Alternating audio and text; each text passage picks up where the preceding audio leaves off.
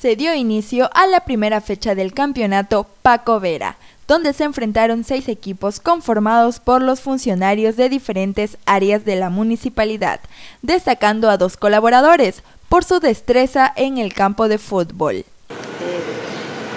como les comenté en una entrevista anterior, eran seis equipos. Eh, el, el día de ayer jugó Contabilidad con Serenazgo, Consejo Municipal con Transportes y Proveedores con Servicios Comunales. En el primer partido fue el ganador contabilidad con 7 goles, eh, Consejo Municipal con 11 goles y proveedores con 8 goles. De ayer fue este, eh, muy emocionados todos porque los equipos están preparados, eh, han mostrado otro nivel ya de, deporte, ambos están con entusiasmo, con el competir y cada día ser los mejores. ¿no? Hay dos jugadores este, que han logrado cinco goles. En ellos está Muñoz Espejo Franz, que es un joven con habilidades eh, distintas, y también el señor Lucio, que es trabajador acá también y muy conocido por nosotros, el quien siempre le pone un empeño, ¿no? Eh, a pesar que hay unos que no son tan buenos, pero eso es lo bueno. Está el entusiasmo y, y, ellos son los mejores goleadores en la primera fecha. Han logrado echar cinco goles cada uno. Eh, Muñoz pertenece a lo que es este, las chicas de reciclaje eh, con servicios comunales y el señor Lucio que es del almacén pero es jugador del Consejo Municipal. A pesar de ser la primera fecha, ya se tendrían tres sancionados con tarjeta amarilla y un expulsado con tarjeta roja. A su vez, la encargada de este campeonato explicó el bajo rendimiento de uno de los equipos favoritos, como lo son el área de Serenazgo. E incluso este, han puesto sus tarjetas este, amarillas, ya hay uno este, que incluso fue este, sancionado ¿no? con su tarjeta roja. ¿no?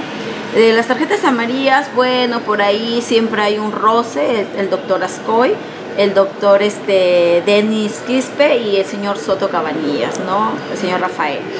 Y con tarjeta roja sí hay uno, que es Sánchez León Steven. Bueno, por ahí lo suspendieron y esperemos que en la, en la próxima eh, fecha ya él esté participando.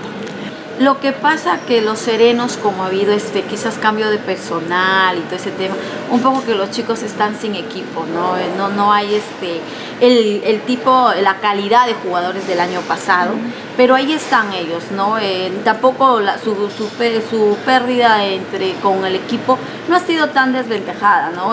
hablamos de dos goles de diferencia, o sea, han dado un partido a jugar pero este, siempre hay el mejor, pues, ¿no? Que muestra sus mejores habilidades. Y esperemos que la segunda fecha este Serenazgo se levante y vuelva a ser el, el equipo que fue el año pasado, ¿no? Que nos hizo emocionar y quien fue también parte, ¿no? Casi hasta el final, a punto de ser también el ganador del campeonato. Pero Esperemos que Serenazgo esta vez se levante y como dice, pues en cancha, levanten sus gallos y sean los mejores, ¿no?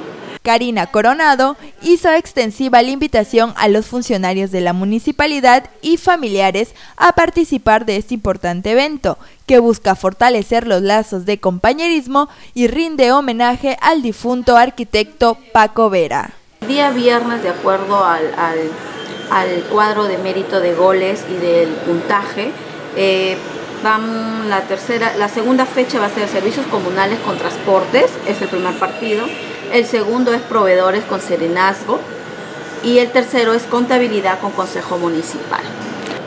Eh, decirles a las esposas, a los hijos, a los compañeros de área, que vayan a emocionarse, a verlos, o sea, es un momento de pasarlo lindo, verlos jugar, verlos como, como ellos este, tratan de confraternizar. Hay un momento en que sí, por ahí un poco de rencilla, se molestan, que eso, por el mismo juego, ¿no? Pero al final nos reímos, nos vacilamos, nos divertimos y siempre con ese fan, ¿no? De confraternizar e invitarlos a todos a, a ser espectadores de estos grandes equipos que tiene la municipalidad, buenos jugadores.